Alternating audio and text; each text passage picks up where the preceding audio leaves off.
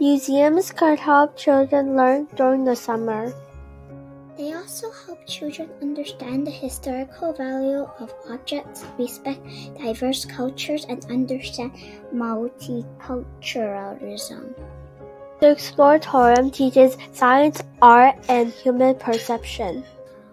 MoMath is a mathematic museum. Their math exhibits are really fun for children to play and learn. The Children's Creativity Museum helps children build their creativity. The Museum of Craft and Design examines the Bay Area arts ecosystem through the artwork and stories of 23 Bay Area artists. The Academy of Science teaches exploring, explaining, and sustaining life on Earth.